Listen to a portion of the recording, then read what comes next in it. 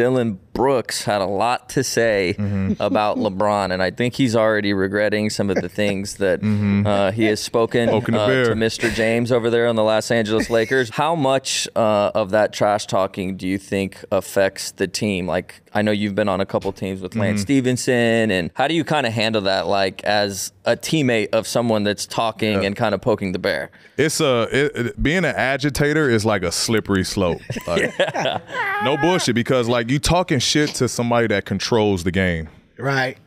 Brian controls the game, and you're Dillon Brooks. Like you don't get 20 shots a night. You don't get 25 shots a night. Like Brian does. Like you don't you don't think he's going to hit shots. You don't think he's going to make shots. Like he's going to play well. Like Right.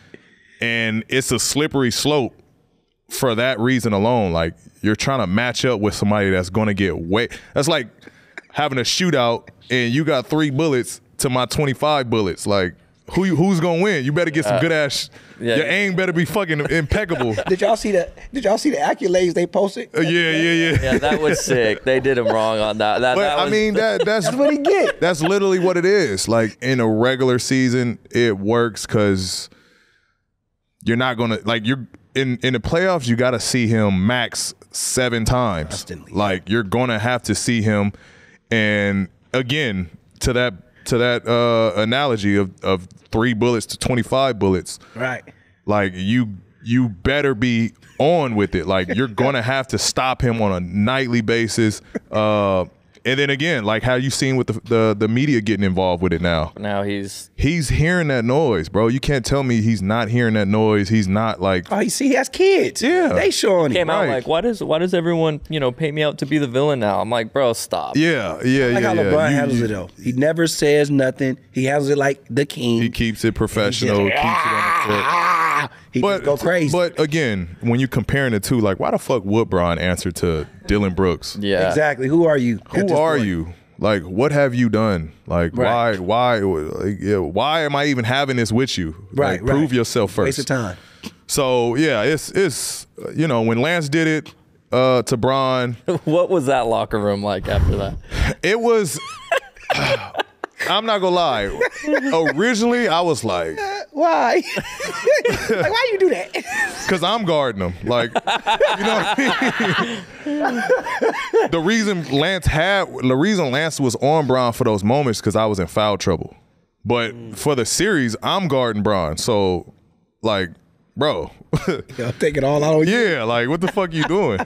Um but I thought I thought it raised like it it, it I thought it it drew to our intensity of like we not backing down to y'all. We we you know we I thought we stood behind Lance after he did that, opposed to like you know getting on him about it or breaking up about it.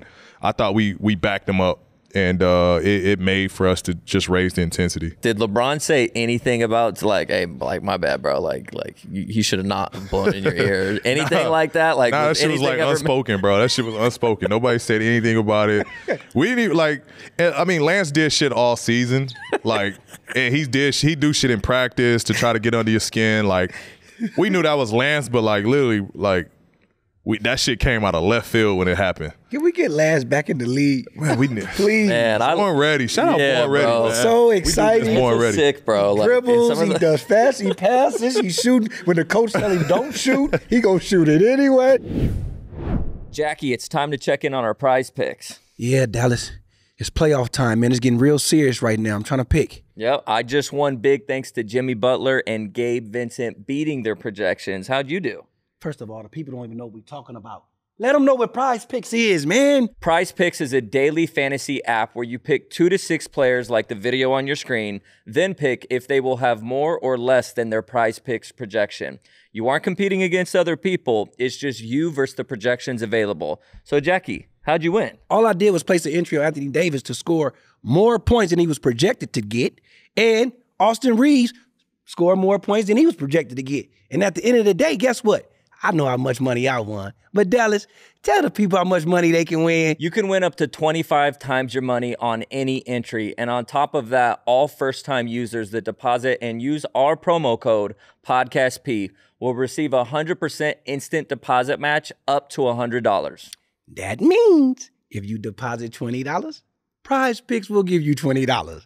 If you deposit $100, Prize Picks will give you $100. Cha-ching!